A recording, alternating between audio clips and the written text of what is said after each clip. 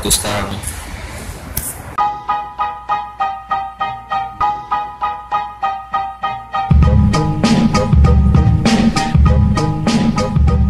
So guys, minta maaf aku terus bawa wide angle punya lens aku. Vlog hari ni agak nampak janggal lah dan sedikit sharp. Bukan sedikit, banyak sharp pun Sebab lens tu yang menyebabkan kebanyakan video-video aku blur. Aku tak suka sebab ah, bila aku pegang macam ni dia shaking nampak? Nampak shake Bila shake, visual aku problem. Hi, bye. Alex, Alex. Minta maaf tadi ada gangguan. So expect today's vlog shaky Dan lepas aku rakam ni maghrib aku nak kena pergi dekat Taman Sarah Putra Taman Sarah berada Bila doang phone aku baru ter- terlempeh tadi Dekat jalan tar ni Ada sumpit sikit dekat ujung uh, phone ni Sekejap lagi lepas maghrib aku akan pergi jumpa Madu dekat Taman dekat dengan IKEA. Tu aku tak tahu kenapa apa nama bandar utama. Entahlah aku akan pergi jumpa dekat situ. Ada nak ambil baju dan if possible aku nak interview dia malam ni. Okay Ahmad? Ya. Ah, okay. okay. so aku 8.30 minit. Aku nak kencau dan aku nak pergi jumpa Madu. Ambil t-shirt aku. Dan kalau sempat aku minta interview dengan dia kawan aku kot. Kalau dia tak tak apalah. Aku just tanya a few random questions. Aku baru sampai fashionably late 15 minit. Patut 8 setengah tapi aku datang 8.45 Aku kuat madu, madu madu kat sini. Sampai Dan aku tengah tunggu waiter Tak bila nak ambil Uber aku ni Guys, aku dah dapat barang apa yang aku nak. So, sekarang ni aku caw Dah pukul 10, 10 dekat pukul 11 Aku tak sempat nak interview dengan Madu sebab Dia segan So, balikkan aku cerita. Kalau ada masa. Ah, Aku baru sampai rumah pukul 11.30 ni. Sekarang pukul 12 pun Aku nak sambung dua perkara je Apa yang aku bincang dengan Madu ni. Lama kita orang lepak. Satu migrate Rezeki.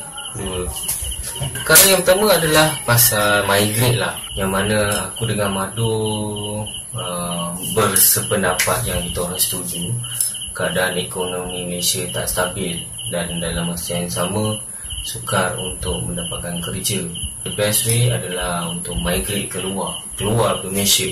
That is one of the reason lah. Dekat luar Daripada apa yang dia kata punya culture sangat berbeza dengan Malaysia. Kita semua tahu yang uh, orang luar lebih menghargai seni daripada kita dan untuk orang macam aku. Uh, budak seni yang buat graphic design. Dekat luar karya-karya aku sendiri dihargai berbanding dalam Malaysia.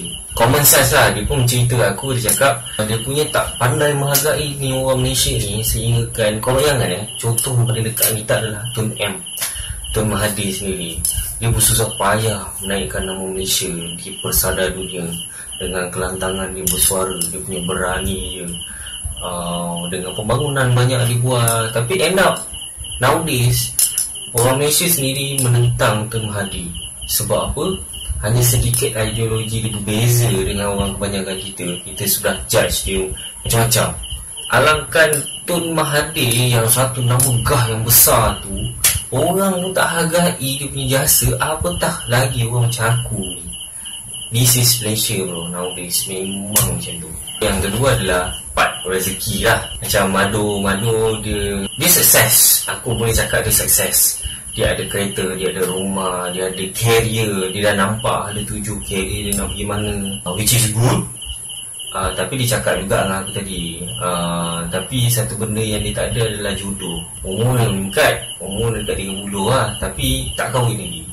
Lepas tu dia, dia tengok Dia bezakan diri dia dengan aku. Aku mungkin macam Semua boleh cukup Tak ada masalah. Dan dia pun pelik Macam mana orang yang berkahwin macam aku Dengan gaji rendah Dapat survive. Uh, Bila berkahwin Rezeki murah. Murah macam mana aku tak tahu. Tapi one of the rezeki Yang memang aku sangat-sangat-sangat bersyukur adalah kesihatan aku bila kita reti bersyukur insyaallah rezeki itu akan datang. Okey macam Madu sendiri dia punya rezeki dia dekat career dia lah. Dia bergaji besar rezeki dia murah kat situ lah. Sebab apa? Sebab dia jaga family dia. Uh, Tapi downside dia Jodoh dia lambat sikit. Dia cakap dia tak kisah Bila nak sampai. Uh, Itu kerja Allah Ta'ala. Ada ada tak ada Cuba je There's, There is this downside. So pada korang yang dekat luar sana Yang bergaji rendah Janganlah susah hati. So kita mungkin bagus bahagian A Tapi bahagian B Kita tak bagus. Benda Tuhan ciptakan keadaan yang berbeza-beza macam sekarang ni menyebabkan kita akan lebih kreatif untuk menggunakan sesuatu sehabis baik menggunakan peluang. Nampak peluang grab. Nampak peluang grab. So there is two important lesson lah yang aku jumpa dia tadi. Aku nak interview dia tapi keadaan tidak mengizinkan. Dalam keadaan yang gelap kemudian orang ramai dengan asap vape asap shisha semua besar-besar dan memang tak sesuai. Kalau aku rekod pun suara tak dengar. Kita orang kena menjerit baru boleh cakap sekarang ni pun ada bunyi cengkeri eh. ok guys. Buat masa ni itu saja aku rasa aku dapat kupaskan aku harap aku ada courage untuk interview orang dalam masa akan datang. Sebab aku tak rasa vlog aku ni hanya akan uh, kekal dalam format yang sama which is format aku bercakap. Aku rasa ni nyamuk lah kalian kita jumpa di lain waktu dan lain masa Aku harap korang Kalau rasa boring ke Tengok aku punya video ni Bagi tahu kat komen. Aku tak kisah pun. Kalau ada part yang aku boleh improve Aku improve lah. Okay Bye guys. See you Next vlog